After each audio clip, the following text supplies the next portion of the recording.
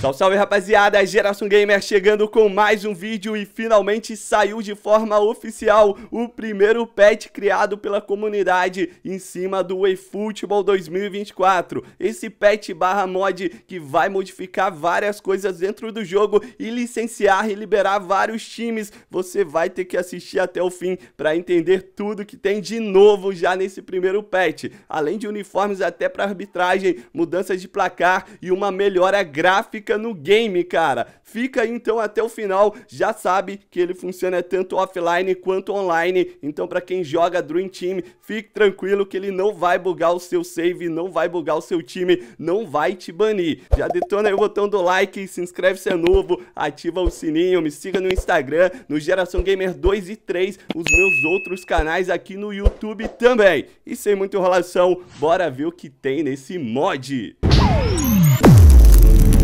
Antes da gente conferir, eu já tô aqui no site onde eu consegui o jogo, cara. É o EvoWeb, onde tá o patch, literalmente. Infelizmente eu não posso deixar o link na descrição por questões aí das diretrizes do YouTube que não permite. Mas pelo nome aqui você já encontra facilmente. E olha só, velho, os detalhes que tem no jogo, licenciamento e melhoria na, na qualidade gráfica. Real Madrid com seu uniforme bonitão, lindão. O Inter Miami do Messi também, olha só o Jordi Alba. Tem vários outros, né? O Ederson ali tá de boa, jogadores mundo afora, os novos kits para arbitragem fica bem mais realista com o logo da FIFA. A lista é infinita das melhoras e das coisas que tem aqui no jogo, ó. Então eu tô passando rapidinho já em português para quem quiser conferir com os detalhes. Tem até várias seleções aí com os uniformes e estão também licenciadas.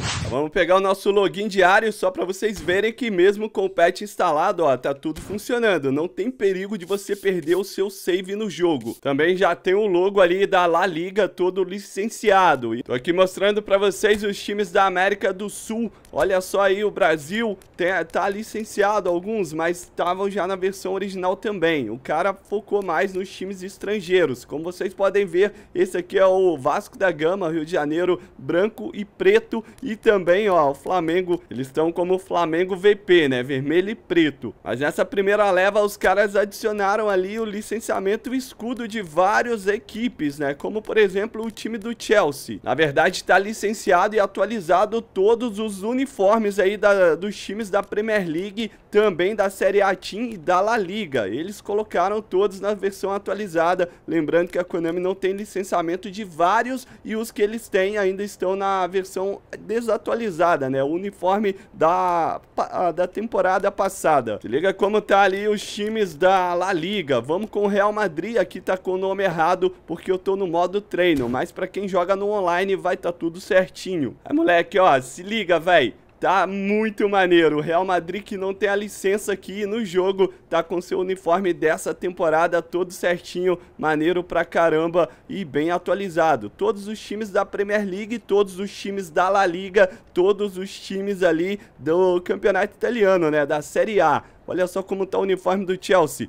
Mano, olha só o detalhe e a qualidade gráfica como deu uma evoluída gritante. Eu tô aqui na versão de PC, não sei se ele funciona nos consoles, mas cara, quem quiser conferir lá depois dá uma olhada. Se liga, mano, a Juventus, que também não é licenciada no jogo, olha só os detalhes, cara. É impressionante a qualidade gráfica que ficou esse uniforme. E tamo aqui também com a seleção chinesa, que também não tem licença, é um exemplo, né? Várias outras seleções também foram adicionados os uniformes e tá tudo bem certinho. Qualidade gráfica também melhorou bastante. Liga MLS, ó, só dá uma ligada. Vamos olhar também como tá o uniforme do Inter Miami, que agora tá licenciado e atualizado aqui, né? Aí, rapaziada, olha só o uniforme do City também nos detalhes. Que qualidade, cara. Tá em 3D, ó, e dá pra ver que é um bordado, né? Você consegue sentir ali na visualizando que dá a aparência realmente de ser um bordado no escudo, ali no símbolo da Puma também. Esse aqui, se eu não me engano, é o segundo uniforme do Inter Miami, é também o da atual temporada. E os detalhes também seguem como os outros, né?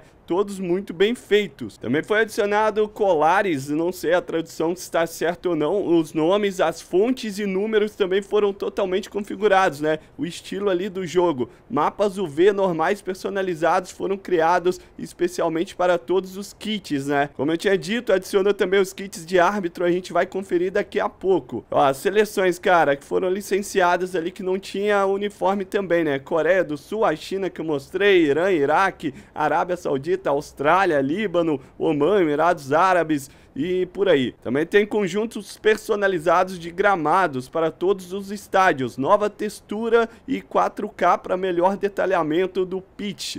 Não sei o que significa isso, mas deve ser alguma coisa relacionada até aos uniformes, né? Porque realmente eles estão muito reais. Aí também foi atualizados os emblemas, alguns logotipos que não eram licenciados. E a linha de impedimentos também foi recolorida, né? Do azul padrão para o vermelho personalizado. E é o que eu disse, né? Foi aí configurado todos os uniformes da atual temporada, né? Lá na Premier League, na La Liga, na Série A e até no Inter Miami que eu mostrei aí da Liga MLS.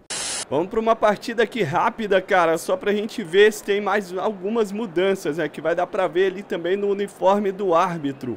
Deixar um clima chuvoso e olha só a qualidade gráfica nesses detalhes, mano. Os pingos de chuva realmente melhorou bastante. Na escolha também dos uniformes parece que tem uma diferenciada, né? Alguns detalhes ali que não eram do original. Liga no terceiro uniforme do Milan, no segundo Vamos que vamos. Segundo o uniforme do Arsenal dessa temporada amarelão, o primeiro, o primeiro a gente já conhece bem, mas se eu não me engano também não tava, né? Tava o da temporada passada. Olha só o primeiro e olha só o terceiro, cara. Tá maneiro demais. Do Milan, o segundo no detalhe e vamos ver também o terceiro também dessa atual temporada. No plano de jogo aparentemente ainda não foi alterado nada, né? Lembrando que a primeira versão os caras vão criar muito mais, em breve vai ter muito mais time licenciado e com certeza eles vão conseguir colocar no modo offline lá nas partidas testes, assim como eles conseguiram fazer no eFootball 2023.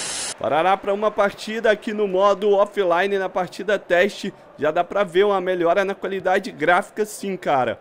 E, velho, os detalhes ali, eles ainda não mexeram, né? Na mecânica do jogo e acho que nem vão mexer, porque essa aqui, na minha opinião, é a melhor gameplay aí de todos os tempos do eFootball. Supera até o PES 2013, porque é um jogo mais evoluído, né? Já tem movimentações, tem detalhes, estilos dos jogadores. As placas de publicidade ali, ó, se eu não me engano, também foram. Sim, ó, foram alteradas. As, as placas ali que ficam nas linhas laterais e também na linha de fundo do goleiro.